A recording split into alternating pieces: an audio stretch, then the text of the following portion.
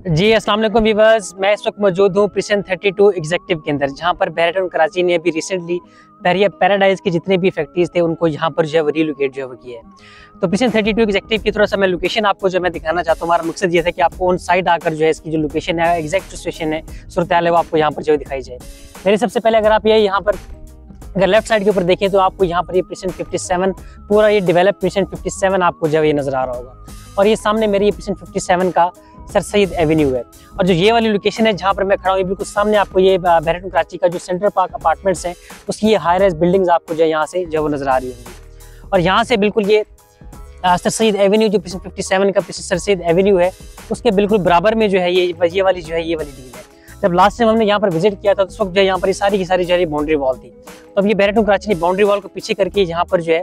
ये new deal prison thirty two executive के नाम से यहाँ पर न्यू डील जो है यहाँ पर वो दे दी है और यहाँ पर जो सबसे खास बात है, जो सबसे प्यारी चीज़ यहाँ पर मुझे लगी है वही चीज़ ये लगी है कि यहाँ पर बीच में एक दहिंद्रो या दहिंद्रो इस तरह से कोई नाम था। अभी मैं बैरटन कराची के ऑफ़िस से मैं होकर आया था तो वहाँ पर उन्होंने दूर से मुझे नाम उसका जो दिखाया था इसलिए मेरी जबान के ऊपर जो है नाम वो नहीं आ रहा। तो वो ये दहिंजरो नदी यहाँ पर जो मौजूद है नदी के इस पार जो है, इनके आधा परसेंट जो है, वो नदी के इस पार उसके बाद यहाँ दरमियान में जो है वो पुल बनाया जाएगा वो एक दरमियान में ब्रिज बना करके जो बाकी का परसेंट है, वो इस नदी की दूसरी साइड के ऊपर जो बनाया जाएगा।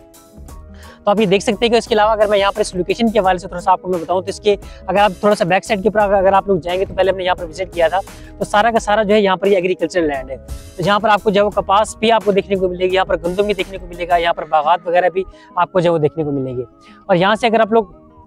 आ, मेरे ये लेफ़्ट साइड की ऊपर अगर आप लोग जाएँगे तो यहाँ पर हमें सामने जो है डी एच सिटी आपको जो नज़र आ रहा होगा। आपको, आपको शायद कैमरे से नज़र ना है लेकिन मुझे यहाँ डी एच सिटी का बोर्ड भी यहाँ से जो है वो नज़र आ रहा होगा। इसकी जो सबसे खास बात है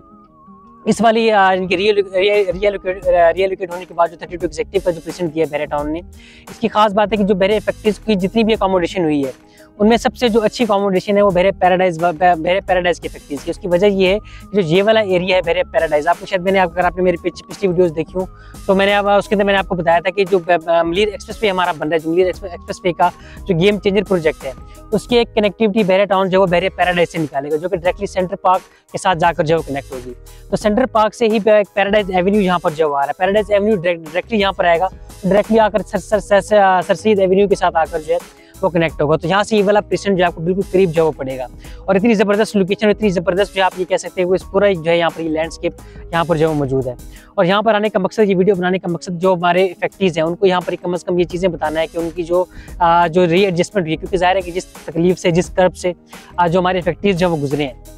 बहुत सारे लोगों की स्टोरीज हमारे पास जो आती हैं, अक्सर उनमें बेवा औरतें थी जिनकी जिनकी जिनकी ज़िंदगी भर की जमा पूंजी जो है, वो यहाँ पर आकर जो वो ज़ाया हो ज़ाया हो चुकी है। तो मैं उनको ये बताना, यहाँ आने का मकसद उनको ये बताना है कि आपकी जो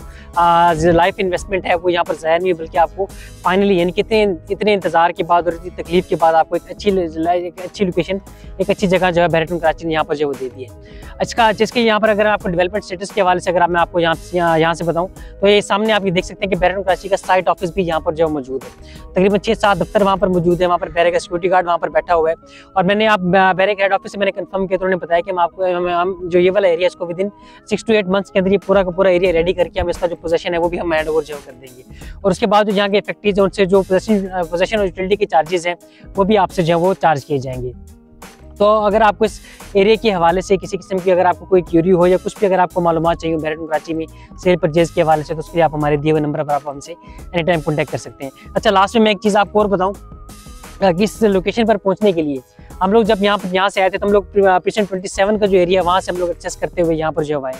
तो हम लोग बिल्कुल पीछे बैक साइड से हम लोग आए। तो बैक साइड से आने के बाद हम जो ये वाला एरिया अगर आप अगर आप देखें कि बाउंड्री वॉल से बाहर से आते हुए हम इस एरिया से आकर हमने इस एरिया को जो एक्सेस किया था। लेकिन जब हम वापस वापस आने लगे तो फिर वापस वापसी पर हमें ये पता चला कि यार ये वाला एरिया तो जो फिफ्टी सेवन है, उसके बिल्कुल साथ ही जो मौजूद है। तो हम लोग खाम खा में एक इतना लंबा चक्कर जो काट कर यहाँ पर छः हुआ है। तो खैर, ये हमारा एक बहुत अच्छा एक्सपीरियंस जो है यहाँ पर वो हुआ है। तो अगर आपको किसी किसी किस्म की क्यूरीज होगा और इस एरिया के वाले से अगर आप कोई भी, अगर आपकी क्यूरी हो तो आप हमें कमेंट सेक्शन के अंदर आप हमें लाजमी बताइएगा। Thank you so much